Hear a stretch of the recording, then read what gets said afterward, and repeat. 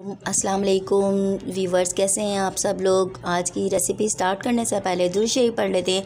अल्लाह सैदना तो जी स्टार्ट करते हैं हम अपनी रेसिपी तो रेसिपी आज की मेरी है जिंगर बर्गर। तो जिंगर बर्गर के लिए हमने ये चिकन के देखें ना थिन है ना थिक है। ठीक है? नॉर्मल जो है, ये बिल्कुल नॉर्मल है। और इसके अंदर जो है हमने इसको इतने मोटे पानी में भिगो दिया है और इस पानी के अंदर हमने कुछ चीज़ें डालनी हैं, वो मैं आप लोगों को दिखा देती हूँ। इसके अंदर हमारा जाएगा अदरक लहसुन का पेस्ट ये अदरक लहसुन का पेस्ट जाएगा इसके अंदर और इसके अंदर जाएगा कुटी हुई मिर्चों का पाउडर, ठीक है? कुटी हुई मिर्चें, chilli flakes, red chilli flakes, ठीक है? और इसके अंदर ये मैं थोड़ा हाफ़ टी स्पून लूँगी क्योंकि मैं कम खाऊँगी। तो ये थोड़ा सा और डाल रही हूँ ये मुझे बहुत कम लग रहा है। और इसके अंदर जाएगा नमक, ठीक है? और अब हम इसको आ, मिक्स करके दो घंटे के लिए इसी पानी में बग़ैर फ्रिज के हमने इसको दो घंटे तक इसके अंदर छोड़ देना है। ठीक है ताकि इसका लहसुन अदरक का मिर्चों का जो फ्लेवर है वो इसके अंदर आ जाए। मैं ज़्यादा नहीं बना रही क्योंकि हम दो हैं तो हम सिर्फ़ दो ही अफराद खाएँगे। तो इसलिए मैं कम बना रही हूँ। अगर आप ज़्यादा चाहते हैं तो फिर इसकी क्वान्टिटी को आप ज़्यादा बढ़ा दीजिएगा। मुझे दो घंटे हो गए और ये देखें, इसके पीस देखें थोड़े से मोटे हो गए हैं, ठीक है? वरना मैंने ना थिन थे, ना थिक थे। लेकिन अब ये थोड़े से थिक होते जा रहे हैं। जितनी देर आप इसको मैगिनेट करके रखेंगे, ये उतनी देर तक ही आपको उतना ही इसका साइज़ मोटा होता जाएगा, ठीक है? लेकिन अभी मुझे जो, और इसका जो जितने भी चीज़ें हैं, इन सब फ्लेवर भी इन्हेंस हो जाएगा। लेकिन मुझे दो घंटे हो गए हैं, मुझे अभी इवनिंग में खाना है मेरा बहुत दिल चाह रहा है तो इसलिए मैंने अब बनाना स्टार्ट कर दिया है, ठीक है? तो मैं आप दिखाती हूँ, ये हो गए और इसके बाद हम लेंगे ये मैदा है ठीक है? अब इसके अंदर मैं थोड़ा सा इसके अंदर मैं नमक डालूँगी और थोड़ा सा इसके अंदर काली मिर्च का ये देखें मैं थोड़ा सा नमक डाल रही हूँ और इसमें थोड़ा सा मैं आ, ये देखें ये रेड चिल्ली पाउडर डाला और इसके अंदर हल्का सा मैं काली मिर्च का पाउडर डालूँगी ठीक है? ये हल्की सी काली मिर्च का पाउडर मैं वहाँ से उठा रही हूँ बार बार हाथ मेरा आ रहा है तो ये काली मिर्च का पाउडर ठीक है? ये मैंने इसके अंदर डाल दिया। और अब हम इसको मिक्स कर लेते हैं। मिक्स करने के बाद, ये देखें, अब मुझे जो है ना उसके बनाने हैं।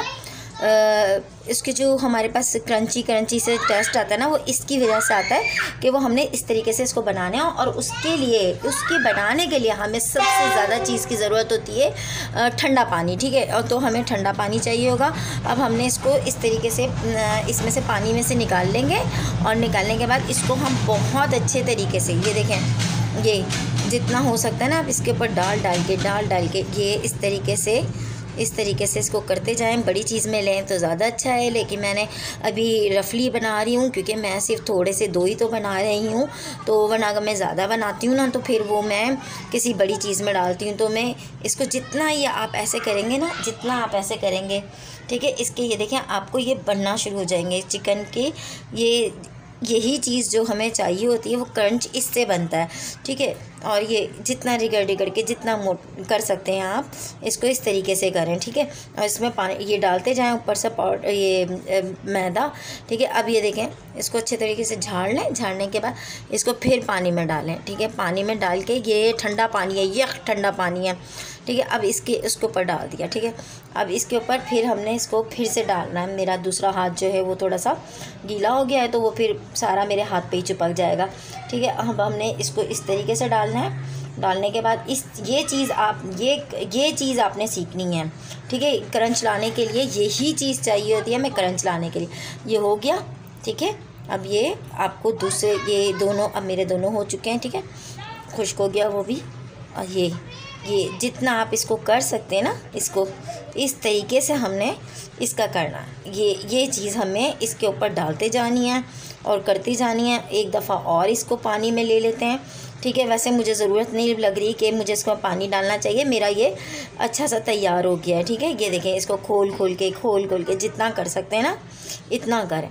ठीक है, ये टूटेगा भी आपका, लेकिन आपको ख्याल रखना है कि ये टूट ना जाए। ठीक है ये देखें ये ये हो चुका है। अब हम इसको तेज़ हमने ऑयल रखा हुआ है और उसके अंदर जो है हमने इसको इसमें डालना है ठीक है? मैं ये ऑयल मेरा अच्छा सा तेज़ गर्म हो गया ठीक है? ये इसमें डाल दिया। तेज़ ऑयल में ही डालना है और इसको डालने के बाद इसको क्या कहते हैं पकने दें। फिर सेकंड साइड से इस, इसको पलट देंगे। अब ये थोड़ा सा हो जाए उसके बाद मैं दूसरे साइड से भी इसको पलट दूँगी। ठीक है, ये हो रहा है और जैसे ये होता है, मैं दूसरे साइड से भी इसको पलट, ये देखें, ये इस साइड से हो चुका है, अब मैं इसको पलट रही हूँ, ठीक है। जब तक हम दूसरा भी बनाते हैं, उसको बनाने का भी ज़रा यही प्रोसीजर होगा, ठीक है। उसमें इसी तरीके से हमने उसको भी बनाना जब तक ये सीखता है, तब तक मैं दूसरा भी तैयार करती हूँ। देखो, ये बन के तैयार हो चुके हैं, अब आगे दिखाती हूँ मैं आपको आगे क्या क्या जाएगा। अब हमने लिए थोड़ी सी कैबेज और थोड़ी सी कैप्सिकम शिमला मिर्च, ठीक है? और इसके अंदर हम डाल देंगे मयो, ठीक है? मयो आपकी मर्ज़ी है, आपको जितना खाना है उसके हिसाब से रख लें, ठीक है? और अगर आपके, और सलाद पत्ता भी रखेंगे, लेकिन मुझे, मैं, आपने देखा था मैं मेट्रो से लेकर आई थी सलाद पत्ता, लेकिन वो अभी मेरा ख़त्म हो गया है तो अभी मैं जो है सिंपल इसी तरीके से बनाऊँगी।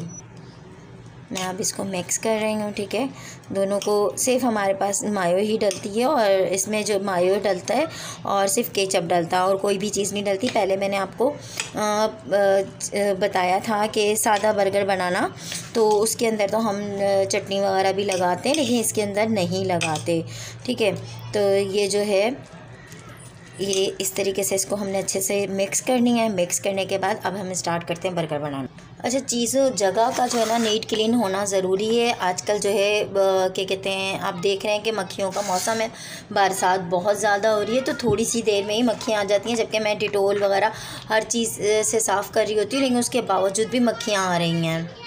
तो मक्खियों का है और इन सारे कीड़े मकोड़ों की एहतियात कीजिए और मेरे पास यहाँ कोई पंखा वगैरह नहीं है, इसलिए अभी हो सकता है कि मक्खी वगैरह आ जाए। तो मैं बड़ी एहतियात से बना रही हूँ। उसके बाद हमने सबसे पहले केचप डाला। केचप आपको जितना अच्छा जो अच्छा लगता है आप वो करें।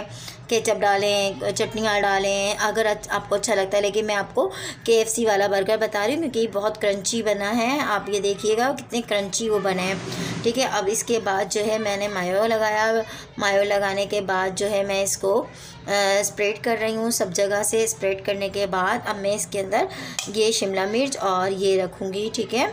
और ये रखने के बाद अब इसके ऊपर अच्छा आपकी मर्ज़ी पर डिपेंड करता है जो आपको जितना ज़्यादा रखना है। मेरे हस्बैंड ज़रा कम खाएँगे तो मैं इसलिए इनकी उसमें कम ही रखूँगी। देखें मक्खी आ चुकी है। मैंने आपको कहा था ना कि मक्खियों का मौसम है तो मक्खियों से बड़ी एहतियात करनी पड़ रही है। उसके बावजूद भी मक्खियाँ आ रही हैं। ठीक है, ये देखें, अब ये हमने इसके ऊपर ये रख दिया और अब इसके ऊपर आप चाहें तो कुछ भी रखें। और मैं चीज़ ज़रूर रखती हूँ, आपको पता मुझे चीज़ बहुत पसंद है। तो मैं चीज़ ज़रूर ज़रूर लगाऊँगी। बग़ैर चीज़ के मेरा गुजारा नहीं है और मैं लाजमी चीज़ खाती हूँ। तो ये पूरी निकलती नहीं है। मुझसे पता नहीं क्या होता है कि मुझसे टूटती ज़रूर है। टूटती लाजमी है। ठीक है, अब ये जो है, मैं चीज़ लगा चुकी हूँ और ये बर्गर हमारा बनके रेडी तैयार रेडी है। और इसको चाहें तो आप ओवन में रख दें। मैं भी इसको पाँच मिनट के लिए ओवन में रखूँगी। अच्छा मैं थोड़ा सा चीज़ के ऊपर भी ये लगा रही हूँ क्योंकि मुझे ज़रा पसंद ज़्यादा है तो मैं इसके ऊपर चीज़ के ऊपर भी ये सारा ले लूँगी। सब चीज़ें ज़ाया नहीं किया करें खा लिया करें और फेंकने से बेहतर। और मक्खियाँ तो आपको मैं क्या बताऊँ, हमारे यहाँ सबसे ज़्यादा इसलिए मक्खियाँ आती हैं। मैं आपको अपना बाहर का एरिया भी दिखा चुकी हूँ कि हमारे यहाँ ट्रेनें भी आती हैं, स्टेशन भी है और उसकी वजह से जो है वो थोड़े से दरख्त वगैरह भी हैं। तो उसकी वजह से जो है, ये कीड़े मकोड़े और ये जो है, बहुत ज़्यादा आता है। तो मैं बहुत एहतियात करती हूँ, नमक का पोंछा लगाती हूँ, डिटोल का लगाती हूँ, फ़नाइल का लगाती हूँ, लेकिन उसके बावजूद भी आजकल मक्खियाँ बहुत आ रही हैं। अब मैं इसको ओवन में रख रही हूँ पाँच मिनट के लिए। मैंने इसको ओवन में रख दिया है, ठीक है? अब पाँच मिनट के लिए मैंने इसको देखें, पाँच मिनट के लिए लगा दिया, पाँच मिनट में हो जाएगा। तो फिर मैं आपको ये जो है, आपको दिखाती हूँ उसकी ड्रेसिंग वगैरह करके। मेरे पास सलाद पत्ता रखा था, मुझे पता नहीं था। मैंने जब फ्रिज देखा तो उसमें निकला और अब मैं, देखिए ये कितनी अच्छी तरीके से मेल्ट हो चुकी है और सलाद पत्ता मैं इसके ऊपर, इनके ऊपर ही रख रही हूँ। देख रहे हैं कितनी अच्छी चीज़ हमारी मेल्ट हो चुकी है, ठीक है? ये सलाद पत्ता रख दिया। अब आप इसको खाएँ इंजॉय करें और ये देखें, मैं आपके सामने इसको लगा देती हूँ इसके साथ ही, ठीक है? और चिप्स मैं आपको पहले बनाना सिखा चुकी हूँ। ये थोड़ी सी ज़्यादा डार्क ब्राउन हो गई है क्योंकि मैंने थोड़ी सी डार्क ब्राउन रखी थी, थोड़ी क्रिस्पी क्रिस्पी। और अब इसके साथ आप इंजॉय करें, आपका जो दिल चाहता है, आप वो लोग, वो खाएँ। अल्लाह हाफिज़। या दुआओं में याद रखिएगा रेसिपी को पूरा देखिएगा। सब्सक्राइब कीजिएगा शेयर कीजिएगा लाइक कीजिएगा। लाफेज फिर मिलेंगे नेक्स्ट टाइम